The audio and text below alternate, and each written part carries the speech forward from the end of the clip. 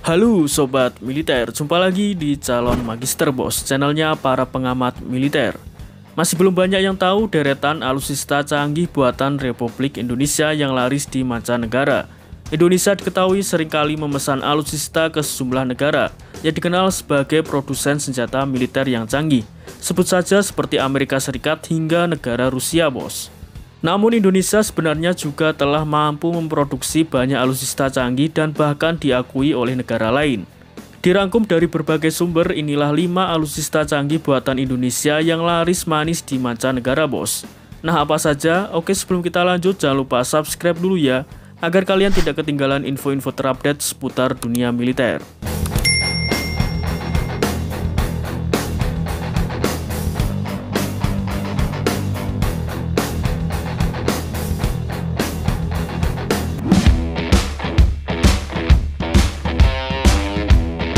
Yang pertama adalah Panzer Anoa 6x6.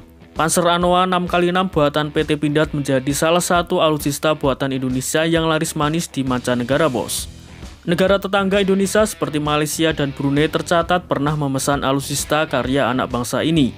Negara lain yang juga tertarik membeli Anoa 6x6 ini antara lain Bangladesh, Irak, Nepal, Pakistan, hingga Timur Leste. Panzer Anoa 6x6 sendiri merupakan kendaraan lapis baja yang digunakan oleh Angkatan Perang. Panzer bermesin Renault ini sudah teruji di negara-negara gurun seperti Lebanon saat digunakan oleh pasukan perdamaian PBB. Alusista satu ini memiliki berbagai jenis, mulai dari Anoa 6x6 Mortal, Command Amphibious Recovery APC, Ambulans, hingga Logistik.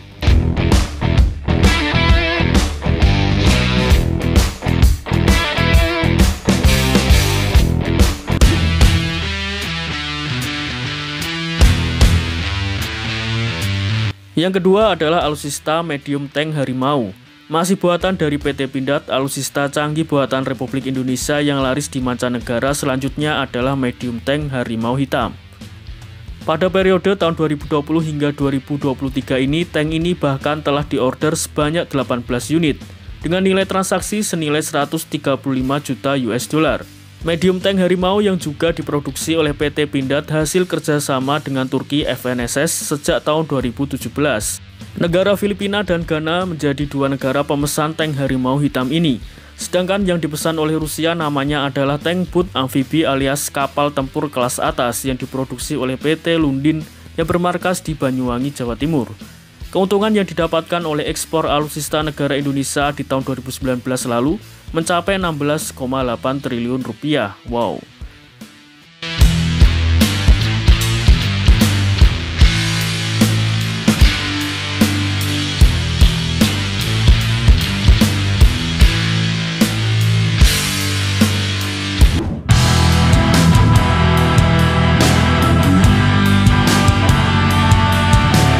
Yang ketiga adalah alutsista pesawat. Ada pesawat terbang hasil karya anak bangsa yang juga telah diekspor ke sejumlah negara, bos. Mulai dari pesawat jenis CN235 buatan PT Dirgantara Indonesia. Pesawat ini menampung 40 penumpang dan bisa pula digunakan bagi penerjun komersial hingga sebagai pesawat patroli maritim. Bermodalkan dua mesin turboprop, hebatnya lagi pesawat ini mampu mendarat di landasan yang pendek. Angkatan Udara Senegal dan Nepal sudah memesan masing-masing satu unit, kemudian juga Royal Thai Police banyak tiga unit. Tapi itu hanya sebagian kecil soalnya Korea Selatan menjadi negara yang paling banyak menggunakan karya anak bangsa ini bos. Dengan jumlah 12 unit disusul negara Turki 9 unit, Malaysia 8 unit dan Arab 7 unit.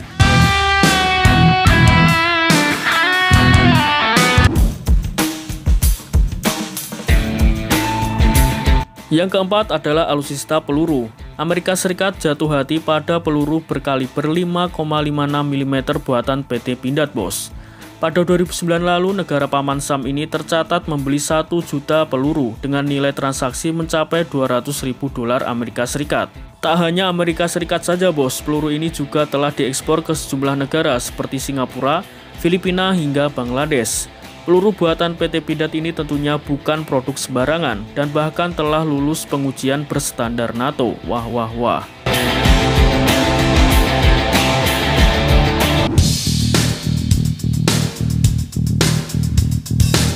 Yang kelima adalah alutsista senapan. Senapan juga masuk jajaran alutsista buatan Indonesia bos yang banyak diminati oleh negara lain. Di antaranya adalah senapan S2S kaliber 5,56 mm. Senapan ini merupakan standar NATO dan juga dibuat oleh PT Pindad. Senapan serbu ini telah berevolusi berbagai varian dan juga telah diekspor ke beberapa negara Asia bahkan sampai ke Afrika. Selain itu juga ada senapan SPR-2, SPR-3 dan juga SPR-4. Seni perbuatan PT Pindad ini umum digunakan pasukan khusus TNI Angkatan Udara. Negara Laos menjadi salah satu negara yang berminat memiliki senapan berkecepatan 90 meter per detik ini.